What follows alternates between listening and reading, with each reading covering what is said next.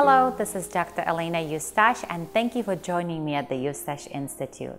Today I'm going to talk to you about bipolar disorder. Brain map can show if a patient suffers from bipolar disorder.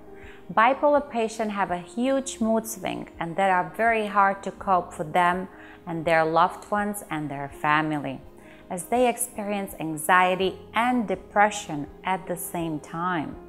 Their emotions are completely unpredictable as their brain waves dip deep into plus and minus levels very quickly, and that's why they feel so emotionally unstable. Some bipolar patients can try to hurt themselves physically too, like cutting themselves, as they can't cope with the pain and pressure in their brain mood swings.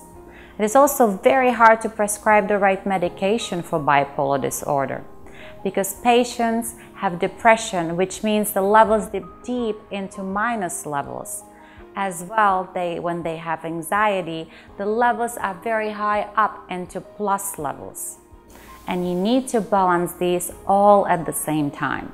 The great thing about neurofeedbacks, neurofeedback trains depressions and anxiety at the same time, and many patients can be trained on their medications and over time patients can lower their medication dosage with permission of their doctor or in many cases, after many neurofeedback trainings, eliminate medication.